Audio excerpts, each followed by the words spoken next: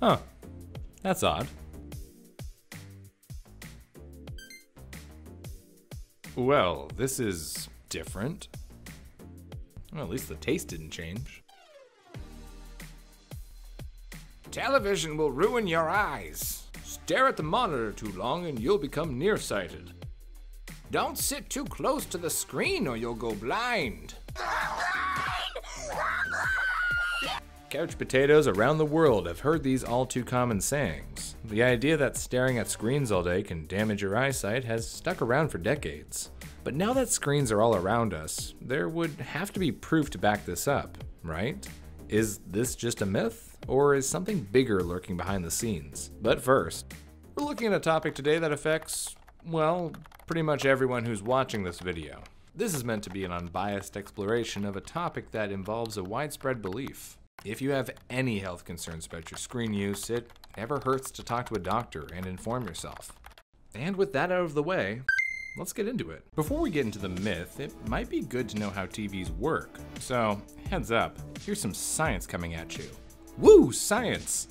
Uh, first things first, when we look at a screen, we're not actually seeing motion.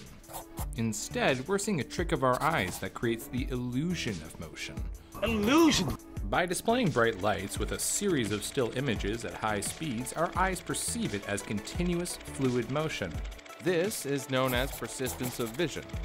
You can see it in motion with early animations like the Zoetrope, Phenakistoscope, and Eadweard Muybridge's Horse in Motion. These devices all quickly spin images in a circle and create the appearance of animation at a focal point. Not that I know anything about animations.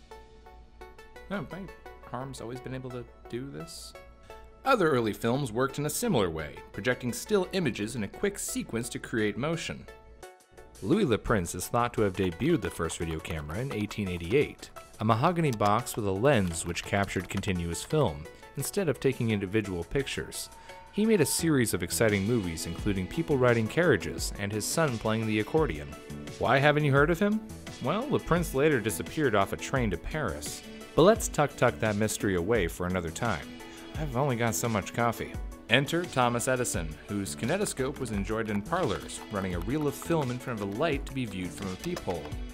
Paired with a soundtrack from Edison's kinetophone, the end product was basically TikTok if it were around in the 1890s. And if your phone was the size of a large trash can.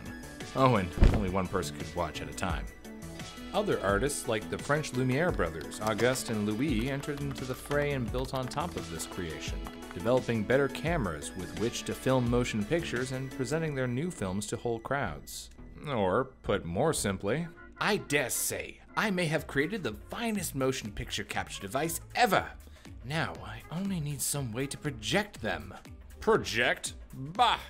These Kinetograph, trademark Edison Corporation, videos will only ever be watched by individuals. Where would you watch them? A theater? Theater? Hmm. Brother, I have a brilliant idea for where we can show our actualities. Actualities. Uh, actually, yeah, I, uh, I, I don't think we're going to call them that. They did. Actually, they did call them that. Huh. Videos today work similarly, but with one big difference.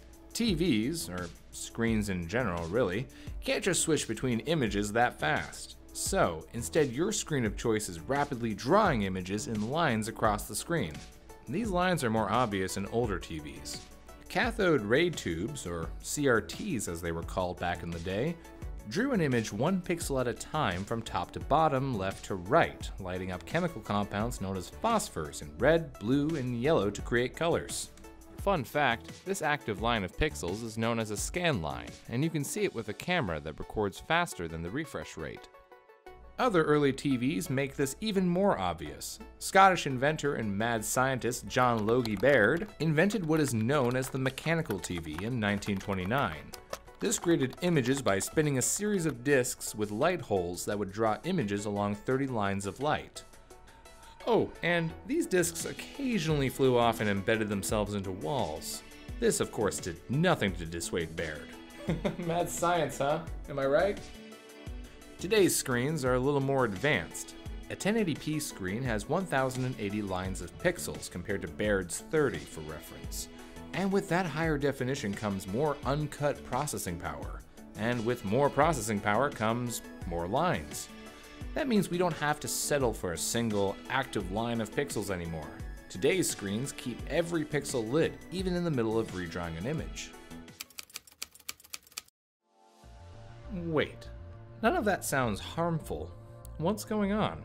Enter 1967, a time when bell bottoms were in, TVs could still be found in black and white, and there sure were a lot of coffee ads.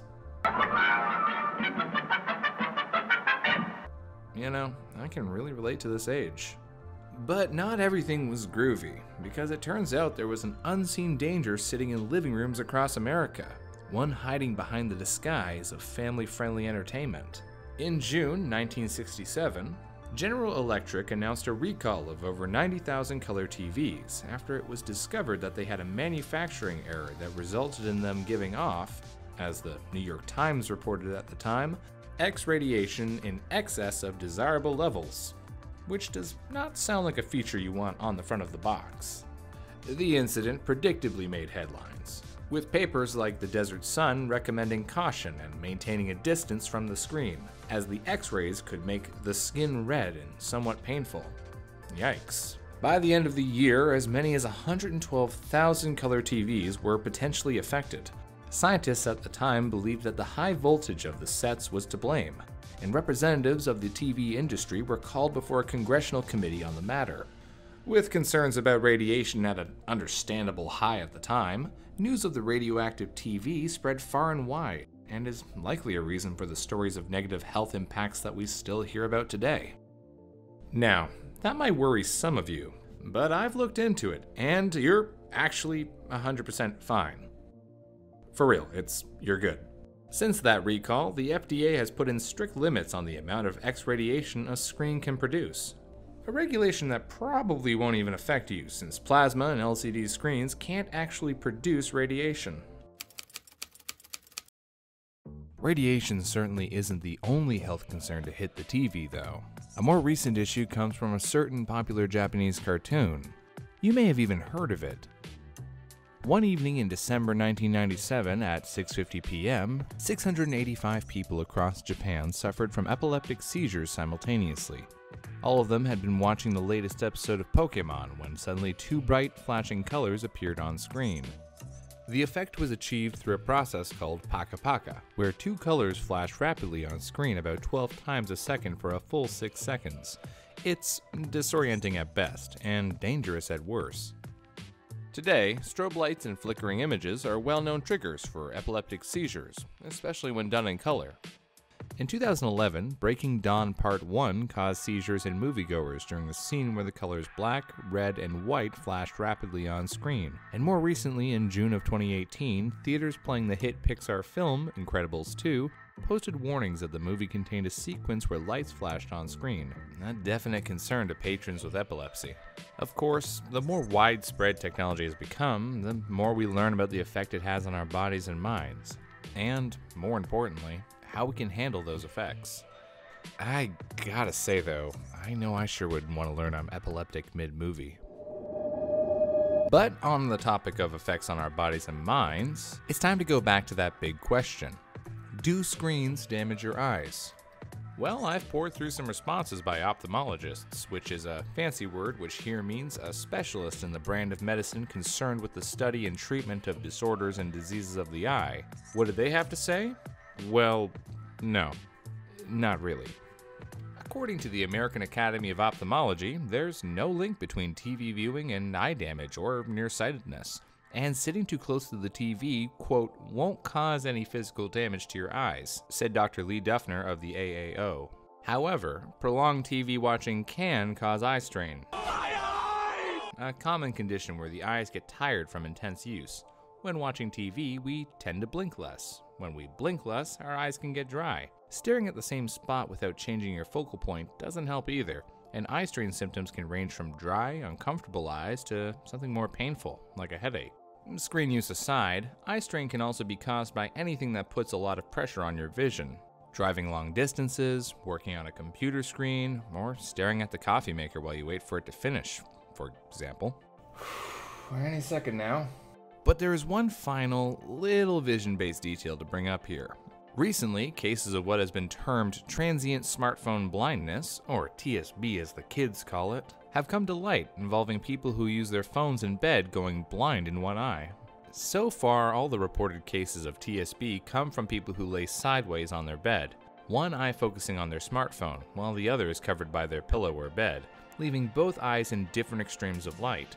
This causes their eyes to overcompensate and adjust to the different light levels, resulting in blindness in the covered eye. Thankfully, all recorded cases of TSB have only been temporary, with no lasting effects noticed in any patients. But as a recent discovery, long term effects are unknown.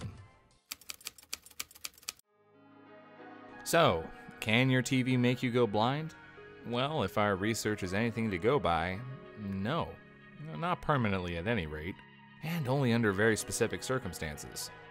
As long as you don't watch your TV with one eye covered or watch flashing strobe lights while at risk of epileptic seizures, you'll be fine. Just be sure to take a break if your eyes are tired, and if you're still concerned, it never hurts to talk to your doctor. And if you just can't take the screen anymore, well, you can always go outside and do something else. I mean, I hear that's what people do sometimes. Wouldn't know.